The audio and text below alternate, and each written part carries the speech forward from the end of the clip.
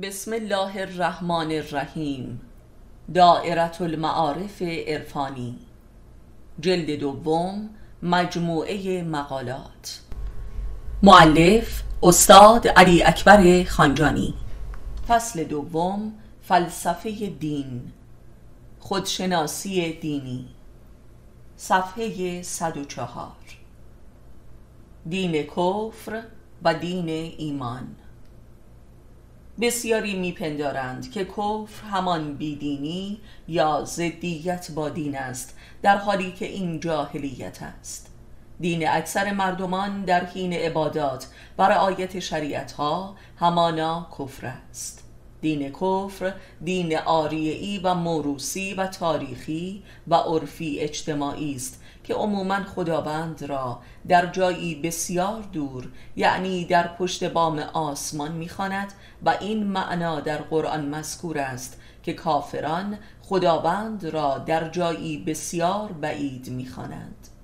و اما دین ایمان دین خودی است که به واسطه تجربه و تعقل و معرفت نفس و در ارتباط با یک امام هدایت در دل پدید می آید و خداوند را در دل می یابد و می خاند و نه در آسمان.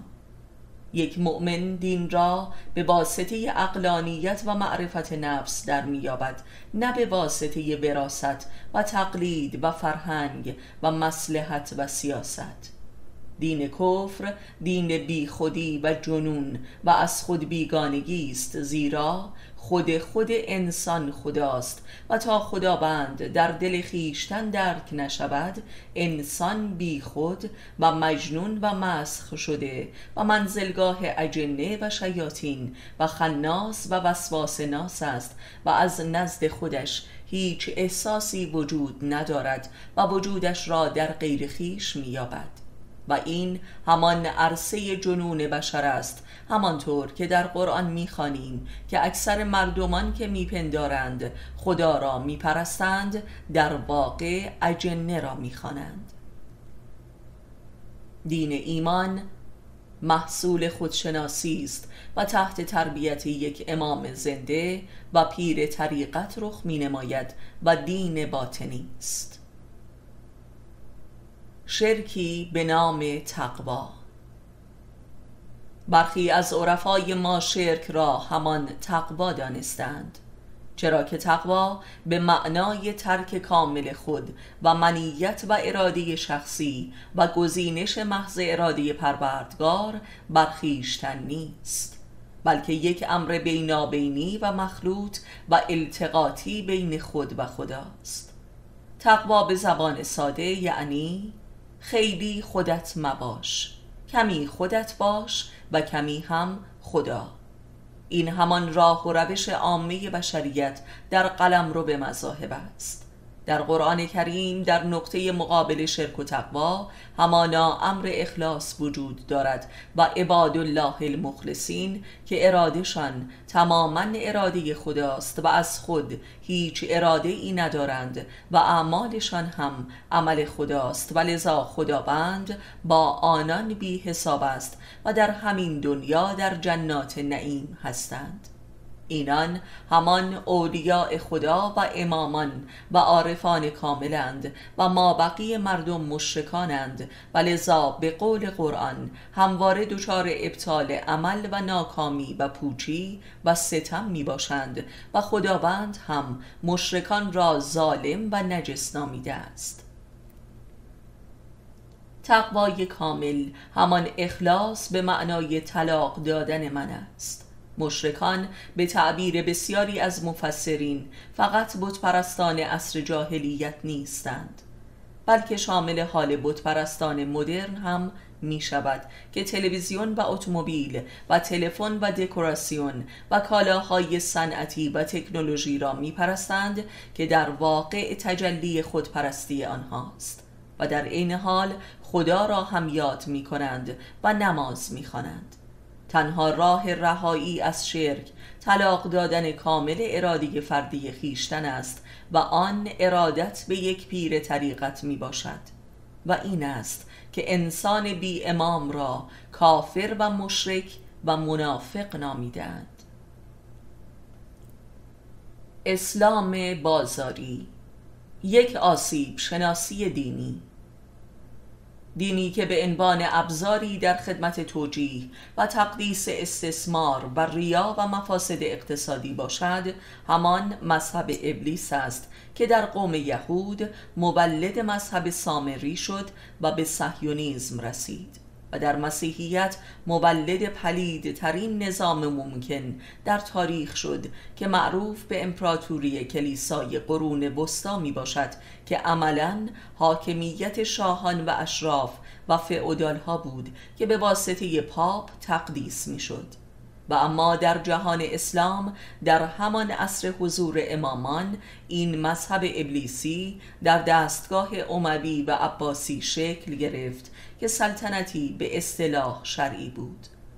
در تاریخ ایران نیز شاهد این حکومت‌های شریعت پناه و آدمخوار همچون غزنویان و سلاجقه و صفویان بوده ایم و امروزه نیز چون این اسلامی به طرزی به قایت پیچیده بر نظام بازار ملی ما حکومت دارد و بعد از انقلاب نیز پیچیده تر و مافیایی تر شده است تا آنجا که دولت های مردمی مثل دولت احمدی نژاد موفق به اجرای هیچ اصلاح بنیادین در نظام اقتصادی نمی شوند. زیرا اساس اقتصاد ما ربایی با کلاه شرعی است در تاریخ صده اخیر ایران نیز شاهد بوده ایم که هر کس هم که خواسته ماهیت این اسلام بازاری را که ادامه تاریخی اسلام اموی و عباسی می باشد بر ملا سازد و یا بر علیه آن اقدامی نماید بلا فاصله از جانب برخی علمای دینی و مراجع مورد تکفیر و ارتداد قرار می گیرد مثل ارتداد میرزا کوچکخان جنگلی از جانب روحانیون عصر خودش که منجر به سقوط نهزت او شد. مثل ارتداد و تکفیر مدرس و امام خمینی در عصر خودشان و مثل ارتداد دکتر شریعتی از جانب برخی مراجعی که حافظ منافع نامشروع بازار بودند و بعد از انقلاب ماهیت آنها رسوا شد.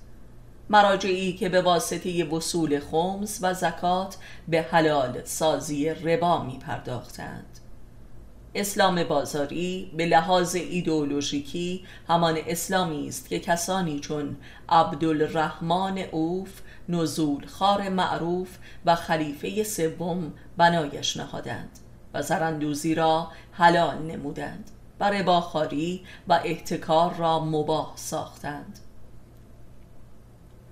این همان اسلامی بود که در مقابل علی علیه السلام ایستاد و حکومتش را تحریم و مرتد نمود.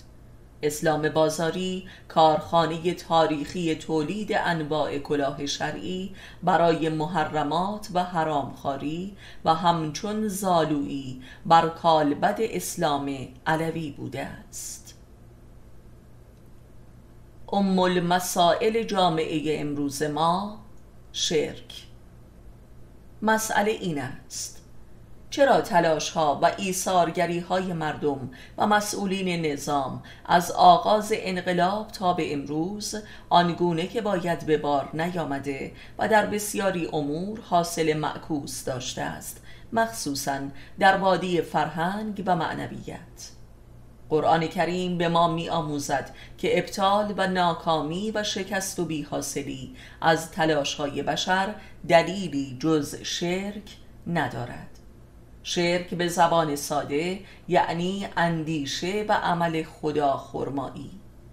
یعنی امیال و اعمال کافرانه و ناحقی که با آرمانهای مؤمنانه و بر حق می آمیزد و یا تبدیل به یکدیگر می شود و التقاط پدید می آورد یعنی دنیا پرستی ملبس به دین اقتداگری ملبس به عدالت جویی خودکامگی ملبس به شرع قرب زدگی ملبس به هویت ملی و علمگرایی. سخن از کلاهای شرعی جهت حلال سازی محرمات است. شرک در بلند مدت در نفس فرد و هویت جامعه منجر به نفاق می شود و نفاق به معنای انشقاق ماده و معناست و خلایی که بین این دو رخ می نماید و ما امروزه در آستانه چنین وضعی هستیم. در حال سقوط در خلع بین دین و دنیا و ماده و معنا دروغ می‌گوییم و نماز می‌خوانیم. روزه می‌گیریم و ربا می‌خوریم. صدقه می‌دهیم و خیانت می‌کنیم. نگرش و روند کل زندگی و اندیشه ما ماتریالیستی و لیبرالی و آمریکایی است منتها تحت شعاع آداب شرعی. تا مدتها همه نقایص به گردن جنگ تحمیلی و ضد انقلاب و آمریکا و اسرائیل بود. ولی حالا دیگر هیچ بهانه ای نداریم الا اینکه به گردن خود بگیریم و به خود آییم و علت مسائل را در هویت نگرش و اندیشه خود بیابیم. ما امروزه نیازمند یک انقلاب ایدئولوژیکی و عرفانی هستیم. نیازمند یک شرک زدایی عظیم و توبعی ملی و انقلابی و شیعی.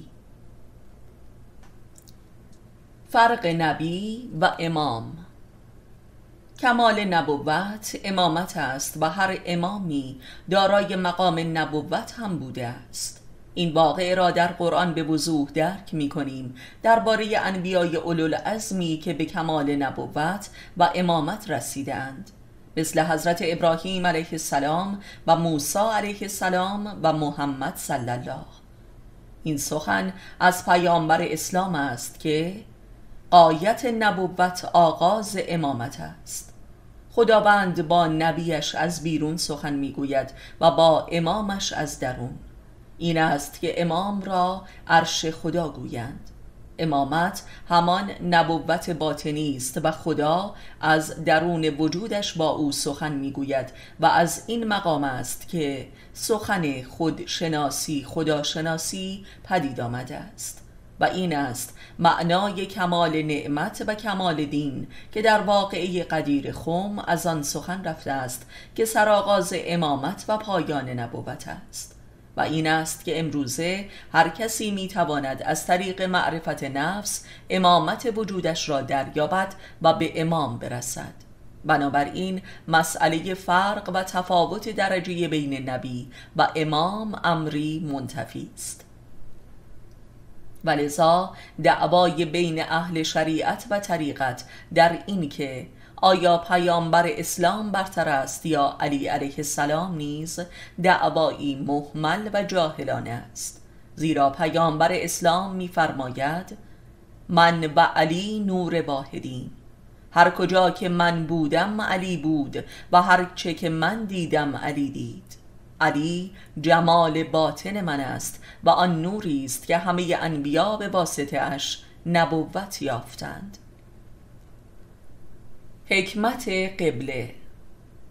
می‌دانیم که قبله عبودیت یک پرستان تا قبل از اسلام همان بیت المقدس و شهر اورشلیم بود و تا سالهای نخستین ظهور اسلام نیز این قبله پابرجا بود که به ناگاه از بیت المقدس تغییر سمت نمود و خانه کعبه مبدل به قبله مسلمین شد که امتحانی بزرگ برای مسلمانان در آن عهد محسوب گردید و بسیاری در حقانیت دین اسلام تردید نمودند.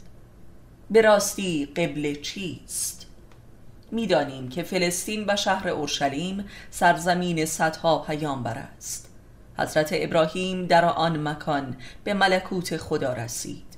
حضرت موسی در تور سینا با خدایش سخن گفت و تجلی او را دید و حضرت مسیح نیز در همانجا به آسمان معراج نمود. و حتی معراج محمدی آخرین پیامبر خدا هم از بیت المقدس رخ نمود و نه از مکه. پس کل سابقه ارتباط انسان با خدا از آن سرزمین بوده است که این معنا در واژه قبله نیز حضور دارد که دارای دو معنای قبل یا سابقه و قبولیت انسان به درگاه خداست. پس چرا قبله تغییر کرد؟ مگر در مکه چه واقعی برتری رخ نموده بود که برترین ارتباط انسان با خدا را تدایی کند که ارتباطی برتر از معراج محمدی باشد؟ در روایت است که خانه کعبه نخستین خانه ای بوده که به دست بشر یعنی آدم و حوا بر روی زمین ساخته شده است که به هنگام تجدید بنای آن توسط ابراهیم علیه السلام و اسماعیل علیه السلام هنوز پایه های آن باقی بوده است. یعنی محل حبوط آدم و حوا از بهشت بوده است. ولی این کفایت عقلی نمی کند به نظر ما در اسلام واقعی رخ نمود که برترین واقعی الهی و دینی و عرفانی تاریخ است. که علت ختم نبوت نیز می باشد که سرآغاز آخر و زمان و قیامت پنجاه هزار ساله یعنی عرصه ظهور حق و دیدار با پروردگار است و آن پیدایش انسان کامل و خلیفه خدا یعنی علی مرتضا پرچمدار قیامت و مظهر جلال و جمال حق است که در خانه کعبه متولد شده و از خانه خدا بیرون آمده است. یعنی حضور خداوند در وجود یک انسان و ظهور او از خاک آدمی به نام علی علیه السلام. و استمرار امامت و عمومی شدن نبوت و خودی شدن وحی در وادی معرفت نفس که قلم رو به دیدار خدا در همین دنیاست و آن پیدایش عرفان اسلامی است که سلطانش علی علیه السلام است. و این به معنای پایین آمدن خدا از عرش است و جایگزین شدن او در وجود یک انسان. همانطور که علی علیه السلام میفرماید دل من عرش خداست و تن من کرسی اوست و خدا جز در وجود من پرستیده و شناخته نمی شود این واقعه حقا برتر از معراج انبیای الهی می باشد به جای اینکه انسان به آسمان برود خداوند به زمین آمده است و این است معنای ختم نبوت و آغاز آخر الزمان و قیامت و امامت.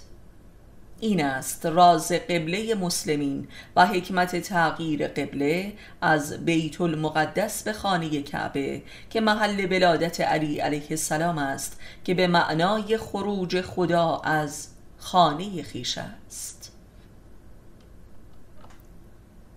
و اما واقعی دیگر و برتری در صدر اسلام رخ داد که بانی و باعث آن امام حسین علیه السلام است که سفینه نجات مسلمین است و آن شمشیر کشیدن در جوار خانه کعبه و خروج از مراسم حج و حرکت به سوی کربلا است.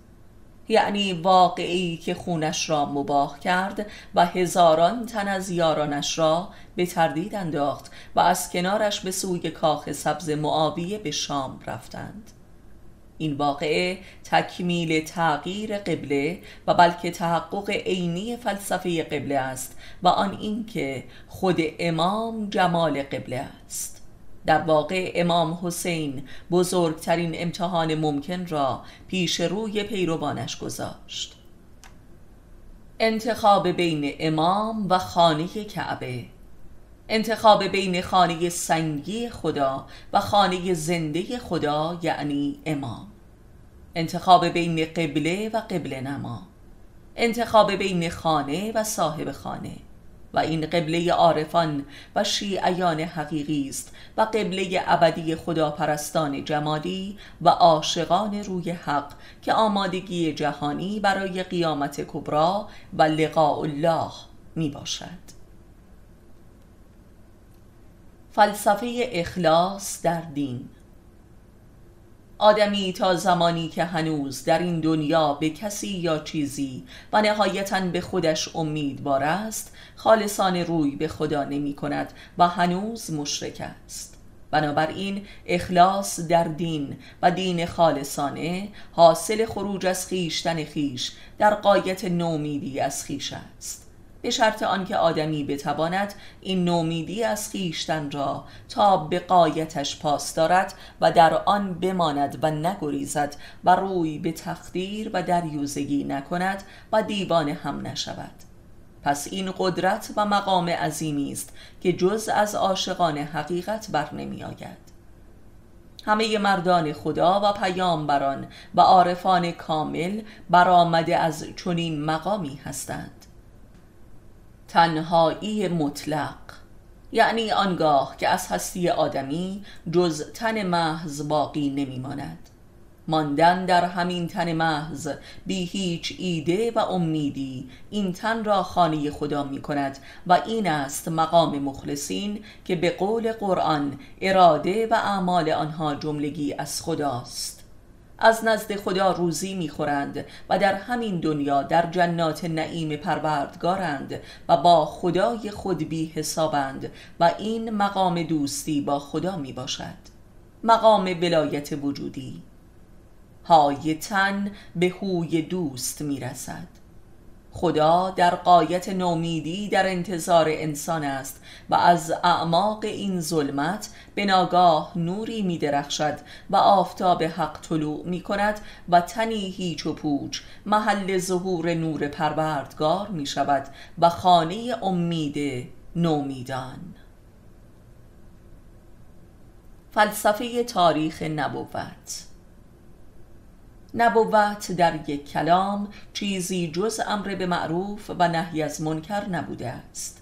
این امر و نهی از زبان وحی در اعماق فطرت بشری مولد اقلانیت شد که همین امر موجب ختم نبوت گردید که سرآغاز دین عقلی است. بنابراین در دوران ختم نبوت یا آخر زمان تنها رسالت دینی فقط توسعه و تعمیق عقل دینی و دین عقلانی است که در قلم رو به معرفت مترادف با هستی شناسی دینی و هستی شناسی دین و عقل شناسی یا شناخت شناسی می باشد که جملگی زمینه های متفاوت معرفت نفس هستند. و این همان قیامت دین است. به بیان دیگر ما در دوران ختم امر به معروف و نهی از منکر قرار داریم که این همان ظهور جهانی لا اکراه فی است که عرصه عقل و اختیار می باشد. در واقع امروزه دینی جز عرفان نیست و ما بقی یا عقب ماندگی تاریخ است و یا قفلت از حق انسان آخر الزمان و فقدان اسلام محمدی. و این به معنای امر به عرفان و نهی از دین جاهلانه و تقلیدی تاریخی است که همان تحقق کمال نعمت خدا در عرصه ختم نبوت می باشد و قیامت دین. این همان رسالت امامان آخر الزمان است. رسالت عرفانی. و غیر از این دین عرصه جاهلیت و قبل از ختم نبوت است. امروز دین چیزی جز معرفت دینی نیست که انسان مدرن را بر سر دوراهی کفر آشکار یا ایمان خالص مخیر می سازد و غیر از این دین شرک و نفاق است که جز زلالت و انحطاط نیست زیرا هنوز در عرصه اکراه در دین قرار دارد. و این تفسیر آیت الکرسی است که به مسابه قلب قرآن می باشد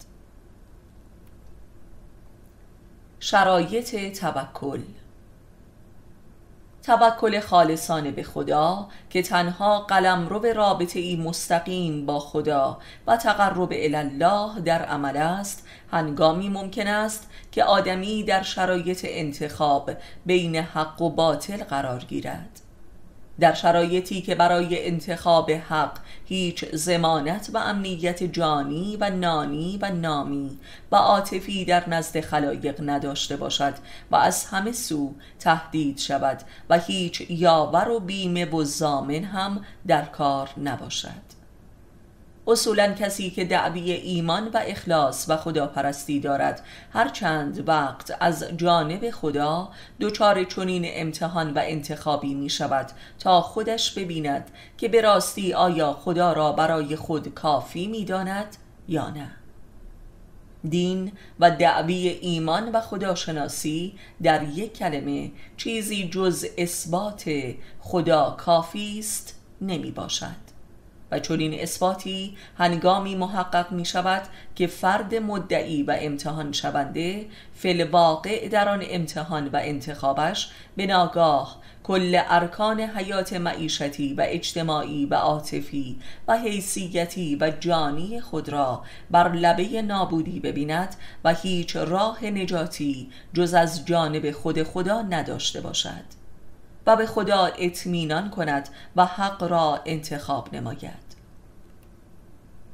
و این گونه است که آدمی هم خودش را به تمام و کمال می آسماید و هم خدایش را. و انسان تا در چنین امتحاناتی موفق نشود ایمان و باورش به خدا و دین و حقیقت شعاری میان است. خدا را فقط می‌توان در مواقع نابودی شناخت. توکل یعنی اطمینان به خدا در چنین شرایطی. توکل قلمرو یافتن هستی از نیستی است. ملاک کفر و ایمان. روزی به یکی از آشنایان گفتم تو عجب کافری هستی.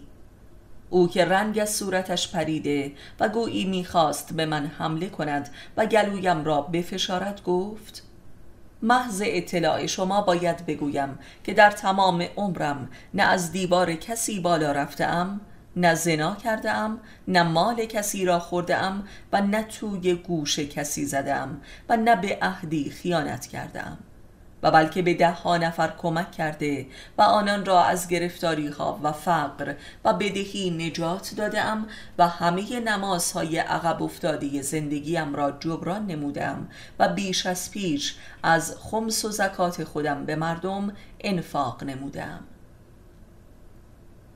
آیا در مذهب شما ملاک مسلمانی چیست؟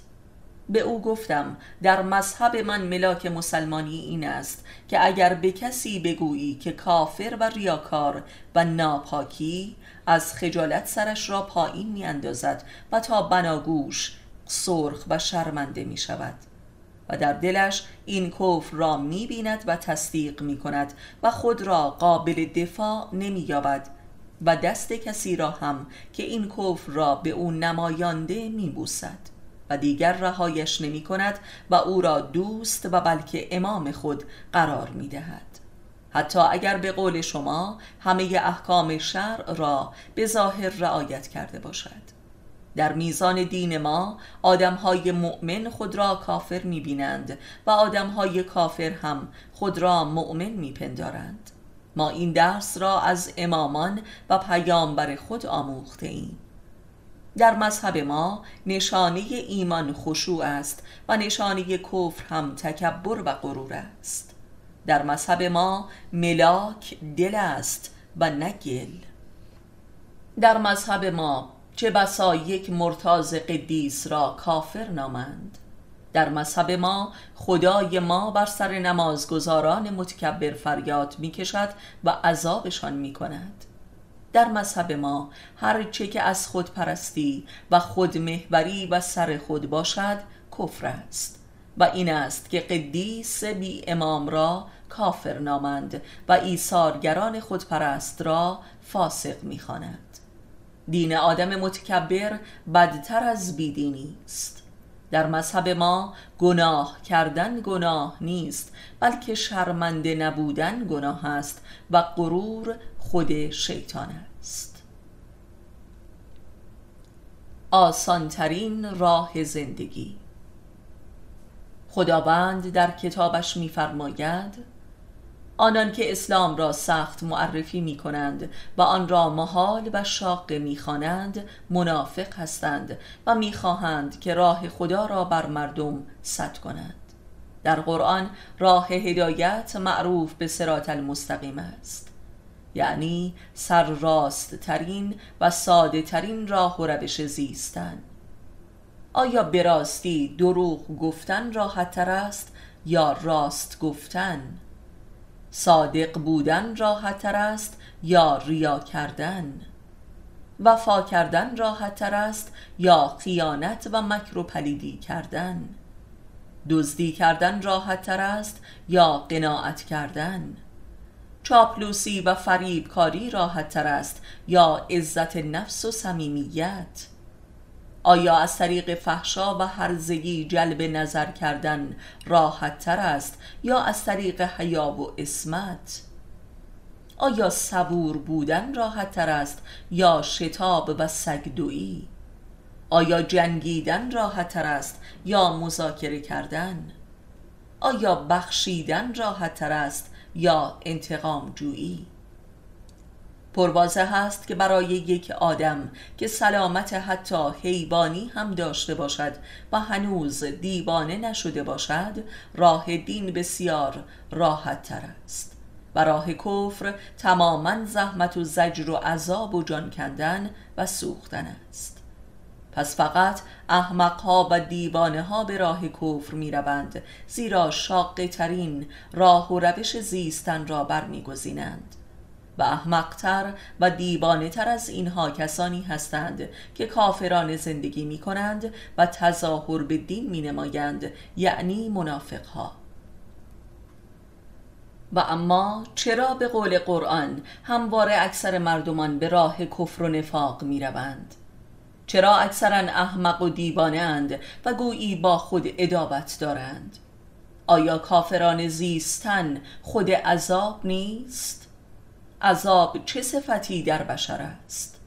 عذاب بخل نسبت به دیگران آنکه چشم دیدن سلامت و عزت و راحتی دیگران را نداشته باشد خودش هم نمی‌تواند زندگی راحتی بکند و این مستاق سخن سعدی است که بنی آدم اعضای یکدیگرند. در واقع بنی آدم از روح و جان و نفس واحده اند. کسی که سلامت و سعادت دیگران را نمی‌خواهد نمی‌تواند سعادت خود را بخواهد. پس بخل و حسد منشأ ذاتی کفر بشر است. و لذا به قول قرآن آدم بخیل در واقع نسبت به خودش بخیل است. پس دین و ایمان و شرافت و سعادت بشر محصول مردم دوستی و عشق به مردم است. و این اساس فطرت پیامبران خدا بوده است و شریعت و احکام دینی آنها محصول طبیعی این عشق بوده است. پس گوهره دین و سعادت و عقل همانا بشر دوستی و دیگر دوستی است و کمال دین و سعادت و عقلان است که آدمی دیگران را بر خودش ترجیح دهد و این ذات نبوت است. پس می‌بینیم که حماقت و جنون از شقابت و بیرحمی بشر به دیگران است. انسان تا دیگران را دوست نداشته باشد نمی‌تواند خودش را دوست بدارد. این اصل اول در خلقت انسان است. آتش دوزخ همان آتش بخل و حسد است. پس بیاییم دعا کنیم که خدایا آتش بخل را از وجودمان برانداز. زندگی مؤمنانه یا زندگی مریخی؟ طرح یک نامه. جناب دکتر با عرض سلام و خسته نباشید. من یک دانشجو هستم و در آشنایی با سایت شما و مطالعه آثارتان. برای نخستین بار باور کردم که می شود مؤمنان زیست و آدم بود. تلاش کردم تا در حد امکان در خانه و دانشگاه به کسی دروغ نگویم. چاپلوسی نکنم. متواضع باشم. وظایف خود را بی مزد و منت انجام دهم. در منزل به والدینم کمک کنم. قرآن و نماز را با معنا و تفکر بخوانم قانع باشم حرس نزنم. بلافاصله با یک سرماخوردگی به پزشک رجوع نکنم و خودم با رعایت مراقبت ابتدایی درمان شوم و برخی دیگر از مسائل روزمره. من گمان می بردم که لاعقل اعضای خانواده و دوستانم از این بابت خوشحال شوند و مرا تحسین و تشویق کنند. ولی با کمال حیرت مواجه با صحنه ای کاملا مخالف تصوراتم شدم همه مرا موجودی مریخی میابند و از بابت سلامت روانی من نگران شدهاند و برخی مرا متهم به کفر و انحراف و گمراهی می کنند و حتی مرا متهم به گرایش به مسیحیت و بهاییت نموده و خلاصه اصلا باورم نمی شود و دارم به راستی دیوانه می شود این چه سری است؟ لطفا مرا نجات دهید. روش شناسی رزق حلال طبق معارف دینی قرآنی و احادیث معتبر رزق حلال همان رزق با عزت و شاهانه است که فرد هرگز به دنبالش نمی دود و گدایی و التماس نمی کند و در جهت کسب رزق خود هیچ نگرانی ندارد.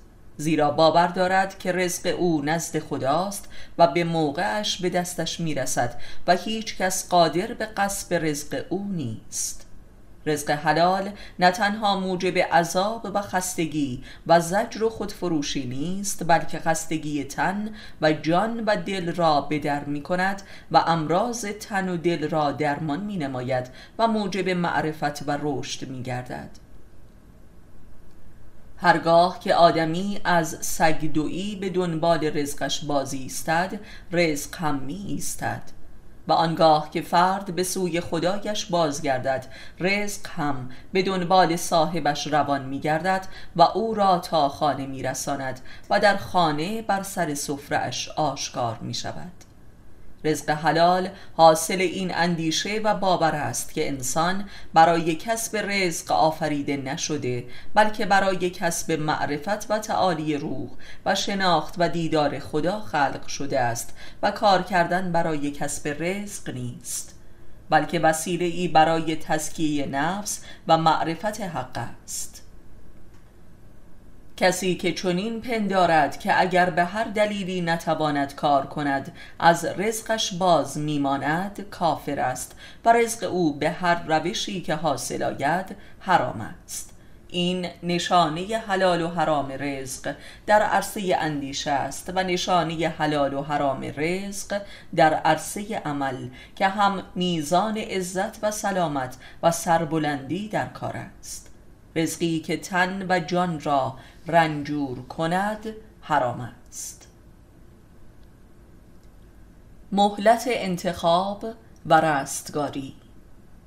هر انسانی در مرحله ای از زندگیش به ناگاه با بهانه ای و به شیوه ای و با مشاهده حجتهایی بیدار می شود و به علت همه خطاها و تباهیها و ذلت و ستمهایش در زندگی به یقین آگاه می گردد و زان بعد برای مدتی مهلت داده می شود تا از گذشته خود توبه نموده و برای اولین بار بر اساس معرفت انتخابی برای سرنوشت خود داشته باشد و از اسارت زندگی جاهلانه و غریزی و میراسی خارج شود و خود باشد. یعنی صاحب هویت گردد و مسئولیت زندگیش را بپذیرد. در دوره این بیداری و مهلت بسیاری از قل و زنجیرهای اسارت و ستم از وجودش برداشته می شود تا بتواند عملا توبه نماید و حق را انتخاب کند. متاسفانه اکثر آدم ها از این مهلت و گشایش و بیداری هم همچنان در مسیر زندگی جاهلانه گذشته خود گام بر می دارند و میپندارند که این گشایش ابدی خواهد بود. ولی به ناگاه در پای رحمت و توبه بسته می شود و آن قل و زنجیرها به شدت و قوتی بیش از پیش آنان را به بند و عذاب می کشد و فقط اندکی ایمان آورده و توبه می کنند و سرنوشت خود را تغییر داده و حق را انتخاب می کنند آنان که توبه نمی کنند پس از مرگشان می گویند ای کاش یک بار دیگر به زندگی دنیا برمیگشتیم تا خود را اصلاح می نمودیم به آنها گفته می شود به شما مهلت داده شد و توبه نکردید و بلکه بر ستم خود افزودید و کافرتر شدید. خداوند بسیار مهربان است و به همه آدمها مهلت توبه و نجات می دهد و به برخی مهلتی چندین باره می بخشد خوشا به حال کسانی که از این مهلت الهی بهره حق می گیرند و دو دنیای خود را نجات می دهند و رستگار و سربلند می شوند چرا نمی توان خود را دوست داشت؟ ای فرزند آدم آیا کی می‌خواهی به خودت رحم کنی و کجا لایق بهشت من باشی؟ حدیث قدسی. حقیقت این است که انسان از دل فرد دیگری می‌تواند خود را دوست بدارد. این سخن خداوند به آدمیزاد دال بر کفر ذاتی اوست که به زبان امروزین نوعی مازوخیزم و خود آزاری و خود بد بودن و نفرت از خیشتن است که به انتقامی بی پایان از خیشتن منتهی می شود که همان دوزخ است. به راستی این چه رازی است در این حیوان دوپا که حتی خداوند را هم گاه به حیرت می اندازد؟ آیا حیرت نمی کنی که چگونه کافران بر آتش دوزخ چه صبورانه می سوزند؟ قرآن و بلکه بر آتش دوزخ می رقصند. این بیرحمی بشر نسبت به خودش از کجاست؟ آدمی حتی نسبت به حیوانات مهربانتر است تا به خودش این همان راز کفر بشر است که اکثریت مردمان بدان مبتلایند که از یک نظر عین حماقت اوست و از نظر دیگری عین شقاوت او با خیشتن می باشد و به قول فیلسوفی خداوند این نوع آدمها را بیشتر دوست می دارد که اکثریت قریب به اتفاق مردم را این گونه آفریده است. تا در دلی ایمانی نباشد انسان نمی‌تواند به خود خوشبین و مهربان باشد.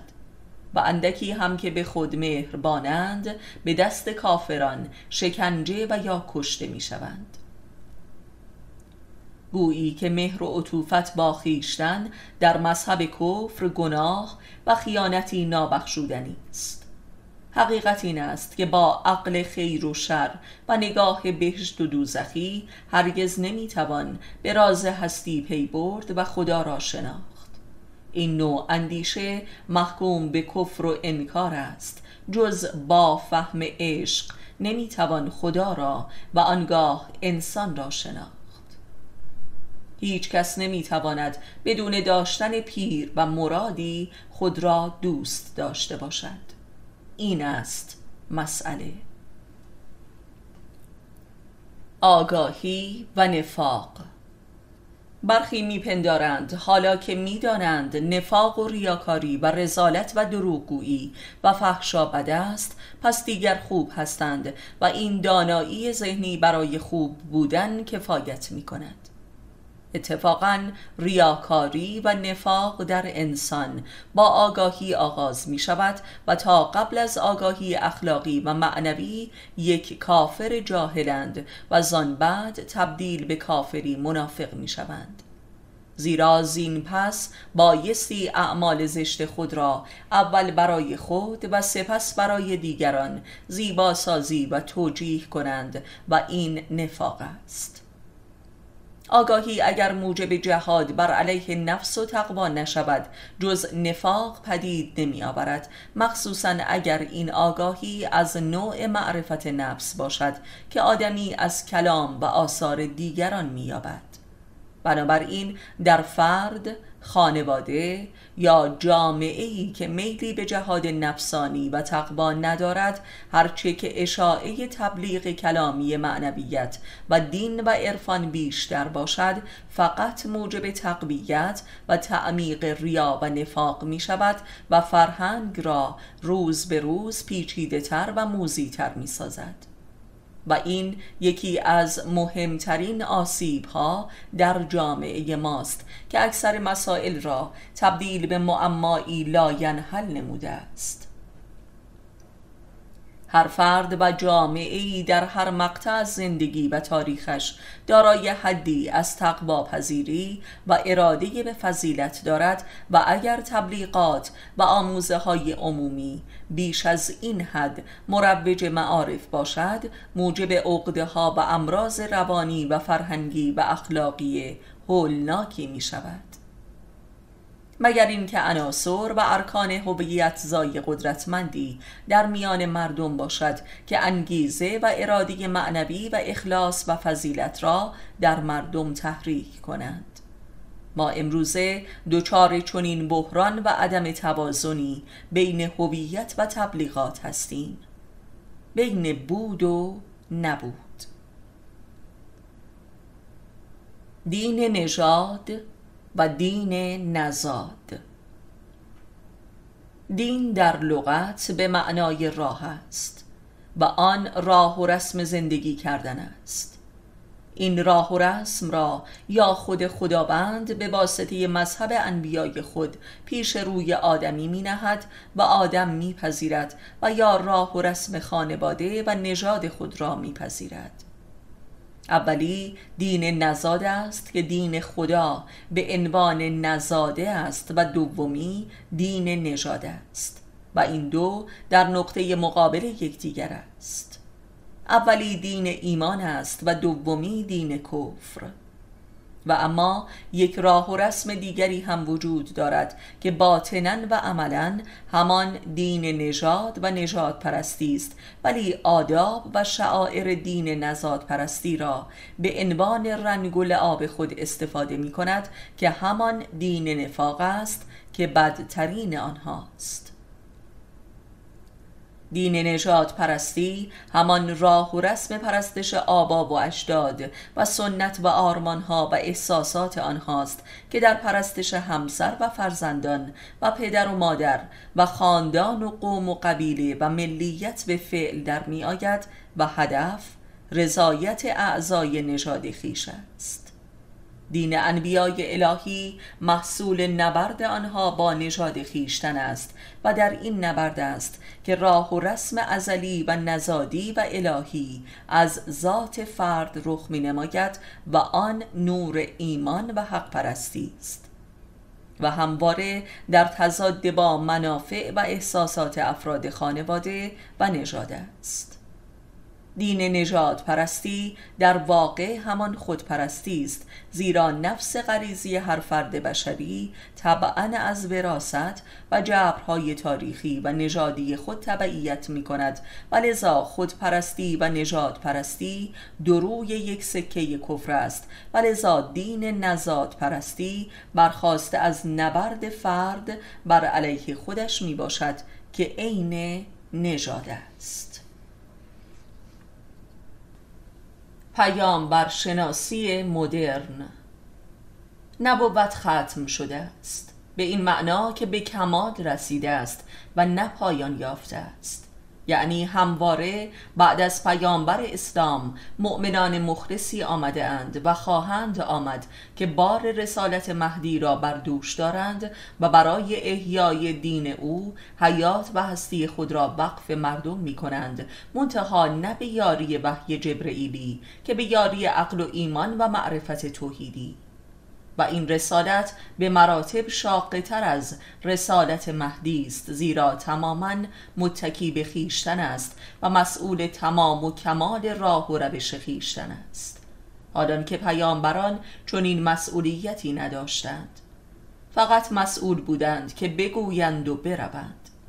این رسالت آخر و زمانی از جنس امامت است و این است که پیامبر اسلام صلی الله می‌گوید مؤمنان امت من در آخر الزمان. در نزد خداوند مقامی برتر از انبیای سلف دارند. کسانی که هنوز فقط برای امیال غریزی خود زندگی می کنند در دوران جاهلیت هستند. پیامبر شناسی در یک کلمه چیزی جز عشق بی توقع و بی مزد منت به خلق خدا و نجات آنها نیست و خدمت به مردم در جهت بازیابی عزت و ایمان و شرف الهی خیش. این عشق و خدمت به خلق همان استمرار رسالت پیامبران در تاریخ است. این عشق تحت هر عنوانی که باشد از جنس رسالت انبیای الهی است. همانطور که انبیا به زبان حال و عقل قوم خود سخن می گفتند بنابراین همه مبارزان آزادی و عدالت و استقلال اقوام بر روی زمین که جان و آسایش خود را وقف مردم می کنند استمرار رسالت پیامبرانند و در نزد خداوند چه بسا عزیزترند.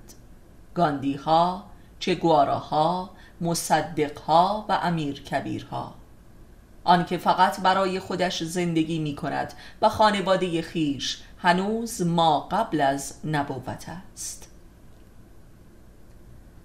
فلسفه دوزخ. نانش می‌دهی گازت می‌گیرد. آبش می‌دهی فوش می‌دهد. محبتش می‌کنی. تو را محتاج و دریوزه خود میپندارد. در قبال زشتی هایش سکوت و ستاری می‌کنی. تو را احمق می‌خواند. در قبال جفایش وفا می کنی تو را ترسو می نامد تیمارش می کنی طلبکارت می شود و تو را نهایتا تنها دشمن خودش می یابد و انتقام می ستاند حال اگر فریبش دهی به او ستم کنی او را به لجن بکشی و به ذلت بیندازی آنگاه قدر تو را می‌داند و از تو سپاسگزار است و تو را دوست خود می‌داند و خود را به پای تو میاندازد. این همان بشر کافر است. پس چون این موجودی ذاتا طالب عذاب است و با عذاب آرام می‌گیرد و به تحمل رحمت و عزت را ندارد. این نیاز بشری موجب پدید آمدن دوزخ است که به دست خودش بنا می شود به همین دلیل بهشت طبیعت به دست بشر ویران شد و دوزخ صنعت در این ویرانی پدید آمد و بشر را از همه سو فرا گرفت. دوزخ فلسفه کفر ذاتی بشر است. بشری که تاب تحمل بهشت عزت و سلامت و رحمت را ندارد و دیوانه می شود و به جان کسانی می افتد که این بهشت را برای او ممکن کرده اند کفر همان ادابت ذاتی بشر نسبت به خودش می باشد کفر همان نبرد بشر بر علیه هستی خیشتن است. کفر همان اراده به تخریب و تباهی و نابودی جهان و خیشتن است و دوزخ تنها درمان آن است.